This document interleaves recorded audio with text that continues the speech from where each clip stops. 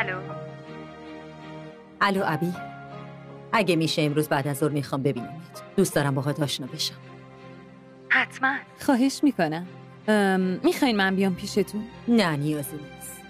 من دارم میام بیروت. بهت زنگ می‌زنم و میگم که کجا و چه ساعتی. باشه. میبینمتون. الو. شنیدی؟ شنیدم شوکه شدم.